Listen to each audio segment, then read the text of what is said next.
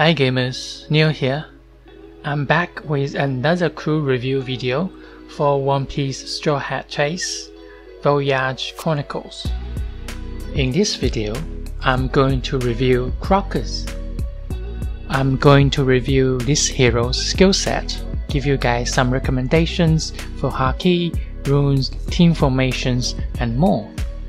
At the end of this video, I will give this hero a rating based on my play experience.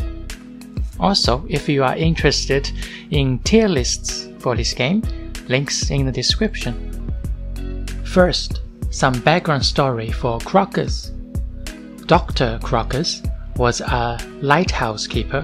As a doctor, he served three years as part of Roger de Gaulle's crew.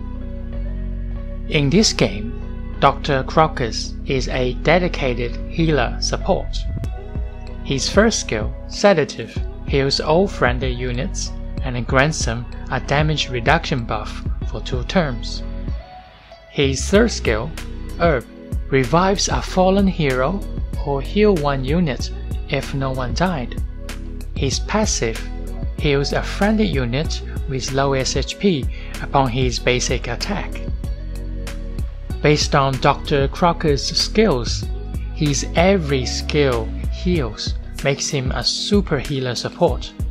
In terms of Haki and runes for a healer like Crocus, you either get those ones, those attributes enhances Crocus' healing skills such as extra healing, cleansing, or advanced purge, or you use those ones to increase Crocus' survivability such as revival, X revival, HP regen, dodge, or even damage reduction.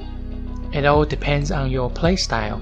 My recommendation is to mix them up, enhance healing ability on main Haki, and use survival attributed runes. In terms of team formation, I recommend you to put Crocus at rare where most support sits. Dr. Crocus works extremely well with a self-healing tank like Marco. Not to mention they are Emperor heroes. You get a team buff for having them on the same team. So in conclusion, I give Dr. Crocus 8 out of 10. He should be a 9 as one of the best healer in the game but as an Emperor hero, he is very hard to get. But nevertheless, he is an amazing support. Rank him up and he will keep your team alive for many battles to come.